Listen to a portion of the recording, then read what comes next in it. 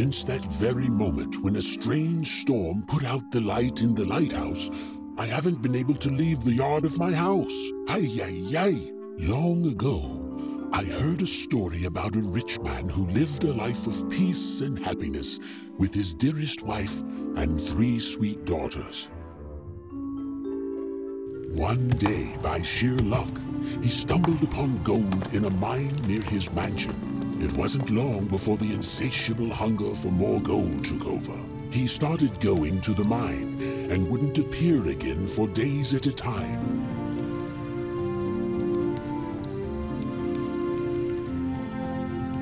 Sometimes what we gain in life is balanced out by what we lose. The rich man's wife had grown tired of his greedy ways, so she took the kids and left.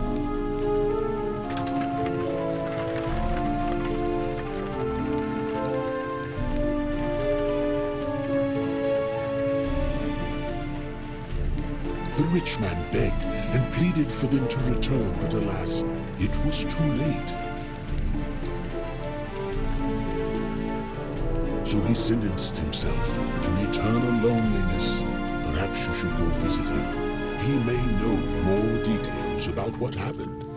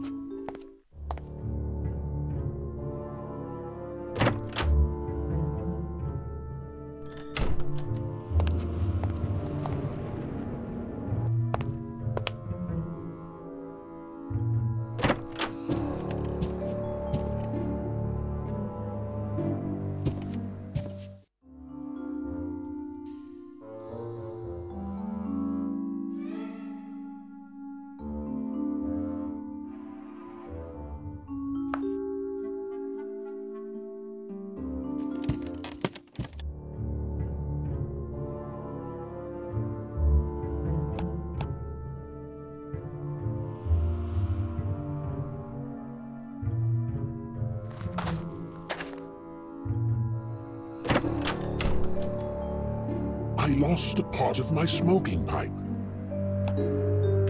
Why, thank you. But you were away for so long that I just decided to quit smoking. So I don't need my matches anymore. Why don't you take them?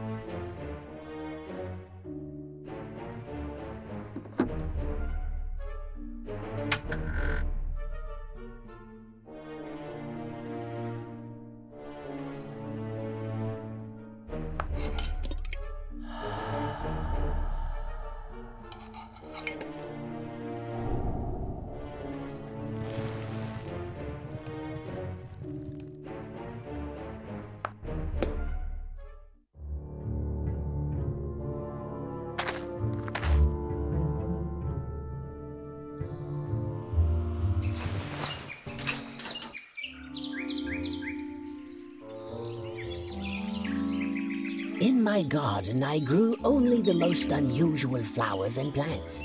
In my floral kingdom of absolute harmony and peace, everything pleased one's heart and eye. Everything was well groomed. My plants bloomed and breathed with adorable fragrances.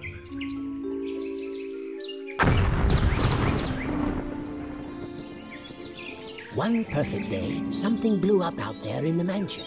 All my exotic flowers faded. The balance was totally upset, and I cannot move from this place. I must constantly trim this bush. A few days before that strange explosion, I heard that workers hired by the rich man found some ancient altar in the gold mine. Maybe that explosion and this strangeness in my garden are links in one chain.